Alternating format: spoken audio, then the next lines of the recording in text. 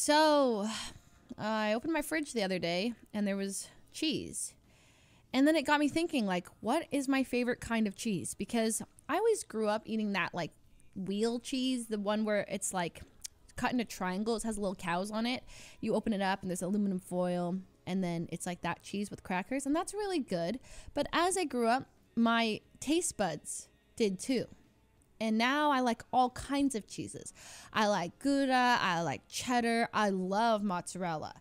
Even those stinky cheeses, I love those too. Like when I go to those super fancy events, those like white tie events, there's wine and they have just a plate of all these cheeses. I don't think there's a single one that I would not eat. I love cheese.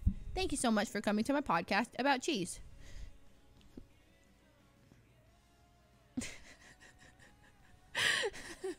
I'm back.